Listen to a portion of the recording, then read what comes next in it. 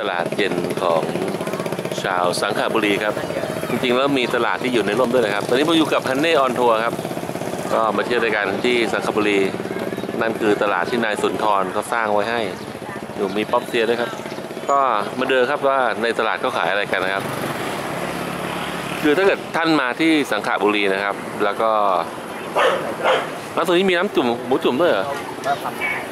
ถ้าเกิดมาสังขบุรี แล้วก็เป็นช่วงวันธรรมดานะครับ ก็จะหาของกินยากนิดหนึ่งก็ให้มาเดินดูในตลาดอย่างร้านนี้เนี่ย หมูจุ่มพม่าไม้ละบาทเดียวครับ ก็โอเคครับ น่ากินมากแล้วมีหมูยำหมูอะไรด้วยครับหนึ่งร้านโหร้านนี้น่ากินครับ สุดยอดเลยครับ เยี่ยมเลยไก่ทอดถาดใหญ่ครับ ไก่ทอดถาดใหญ่ป้าวันนานะครับ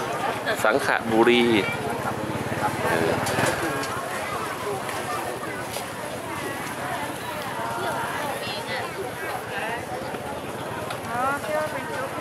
อะไรบ้างครับก็กำลังฝั่งนี้ก็จะเป็นขายพวกข้าวอาหารตามสั่งต่างๆโอ้ดูครับอขอขอจะถ่ายเลยนะครับนี่ครับอาหารของชาวสังขบุรี เป็นหอยจุ๊บตัวใหญ่ๆเลย แกงหอยผัดหอยอ่อมหอยอาหารจากคนเหนือนะจ้ะก็ อันนี้มันแปลกนิดนึงคืออะไรมั้งครับอันนี้ปลาร้าสับสุกค่ะฮะอันนี้ปลาร้าสับสุกค่ะอ๋อปลาร้าสับแบบที่ทำสุกๆนะครับ ก็เป็นน้ำจิ้มจิ้มกับผักนะฮะจ้ะอะไรแม่ไหนผัดนี่แกงขนมแกงขนมก็ไล่ดูครับ เป็นแกงขนุนตักขายครับ วิถีชีวิตนะครับ คือก็มีที่นี่ก็จะมีอาหารตักขายก็สะดวกครับมื้อเย็นเหนื่อยมาจากการทำไร่ทำงานก็ไม่ต้องยี่สิบสามสิบมีค่ะยี่สิบสามสิบมีไม่แพงครับไม่แพง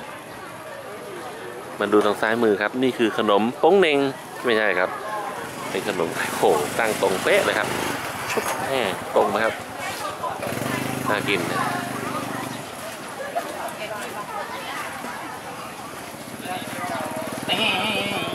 นี่ครับทอดมันตลาดเย็นครับ นี่คือตลาดเย็นของสังขบุรีครับปลาปลาเผา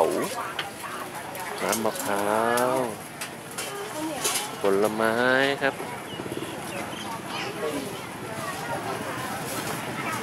อันนี้เป็นตักขาวเลยป้าเสร็จยังอะ อะไรต่างๆครับ นี่ครับชาวบ้านเขากินกันนี่หมูย่างยำหมูนะครับ ก็โอเคนะครับ ดูภาพมีอะไรอีกนะครับถ้ากำลังเที่ยวสะใจอยู่กับผมมิสเตอร์เสียครับ เดินตลาด เย็นที่สังขละบุรีโอ้ร้านดูเก่าดีนะ เจริญลาบเวเวชภัณฑ์ขายยานะครับ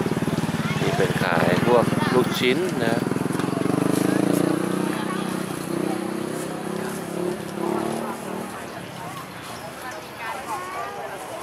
โอเคครับ เที่ยวสะใจกับมิสเตอร์เสียครับจบเพียงเท่านี้นะครับ ชื่อภาคภูมิชื่อภาคภูมิ